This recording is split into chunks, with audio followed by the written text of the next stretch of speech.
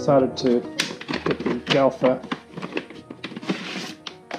wave and um, it's a fine looking piece of steel floating style with um, aluminium center.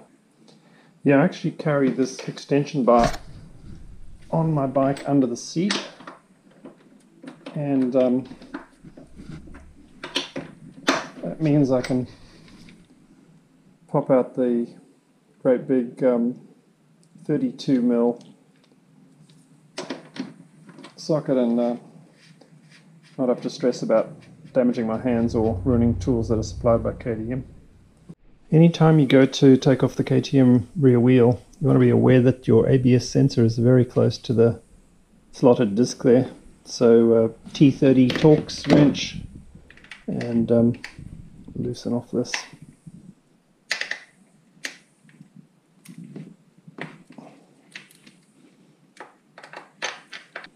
So just pull the shaft out a little bit.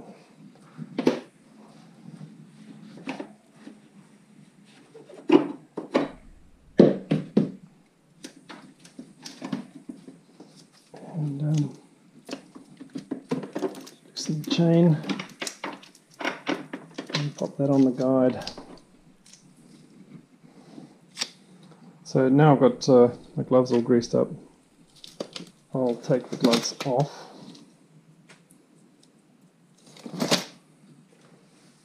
Inside out.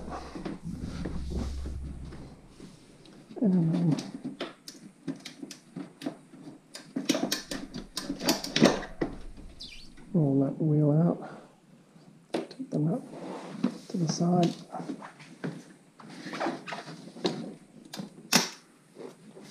There's the comparison. If I pop them on top of each other, it has a, a, an identical circumference um, so the contact area should be exactly the same minus the holes. That one's loose.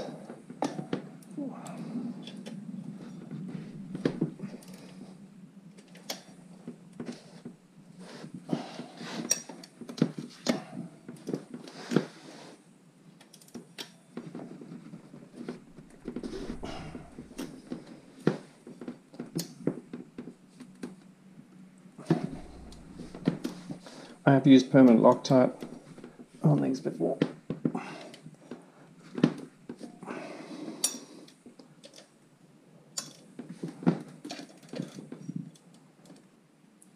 Uh, a couple of things I don't like about it. It's got um, they've beveled the edges here, but um, they've left the other faces very sharp. And from experience on another KTM with a wave, I noticed this cut into the pads quickly. So I'm going to grind that back.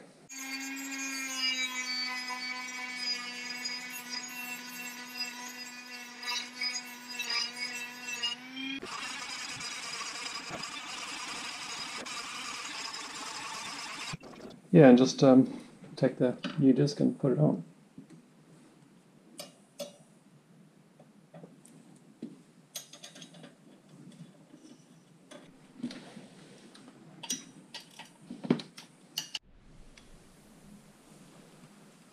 I've uh, got a new set of pads and I like to mark them up with some red. This has got two holes in it. So if you put the first one in on the outside, you can get an alignment point for the second one. A bit easier.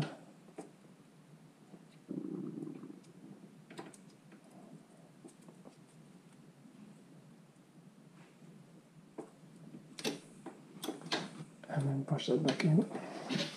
And uh, don't forget to spread the pads ever so slightly with a screwdriver.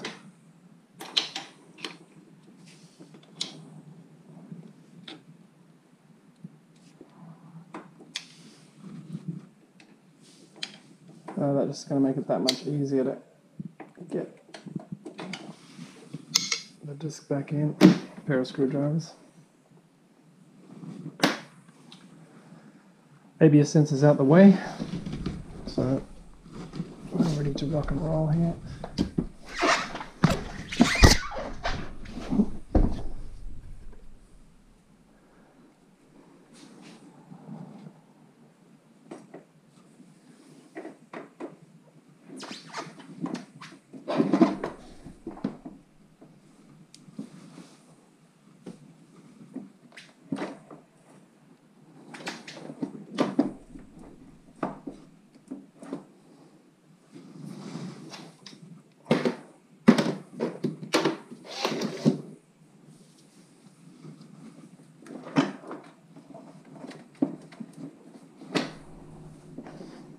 Sort of have to play a jiggling game to get the disc in and at the same time not knock the bush out.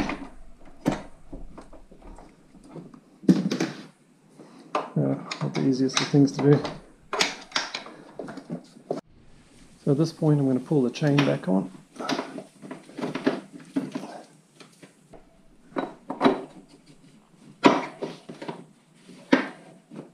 Put my shaft back in.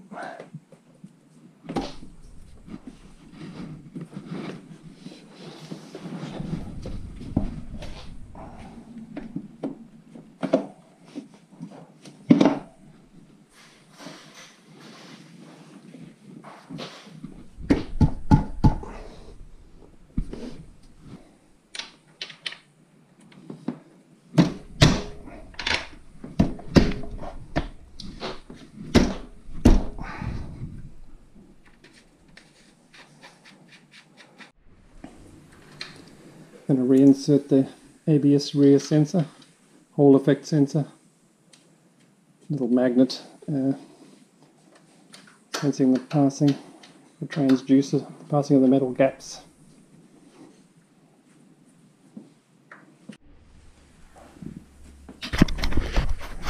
And um, really noticing some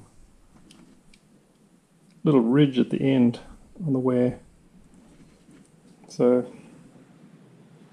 I had to use the back of the caliper to push through the disc to establish the thickness because um, the caliper just wouldn't go over this end ridge KTM has. Um, made the disc slightly larger. The contact area on the KTM is only 23 millimeters radius, and comparing that to the Africa Twin, I noticed it has a 30 millimeter contact area radius. So I'm not sure the wisdom of these um, these particular factory shipped discs on the rear. Looking for 40 to 45 mil play just here on the chain. So I'm just going to set my chain tension, crack it with a 13 and tighten it up with a 10. Okay, final checks are that um, the main nut is tight, and I've used the 10s and the 13s to reset the tension. 13 to lock it off.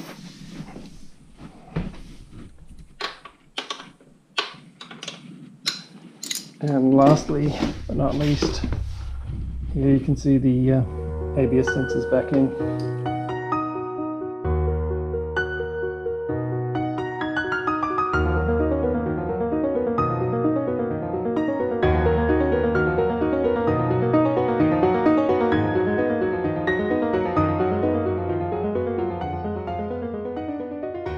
Find that if you take the extension bar and place it under the wheel, it raises the wheel just enough to be able to get the shaft through easily.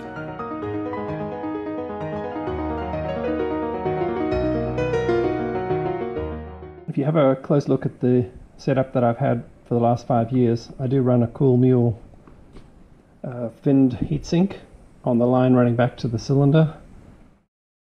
I'd recommend you replace the brake fluid with Motul 660.4 racing fluid. It has a much higher boiling point of 325 centigrade. I did this and it stopped all brake fade on the rear. And I've also installed a much stronger foot spring uh, to give me more feel for the brake when I push it.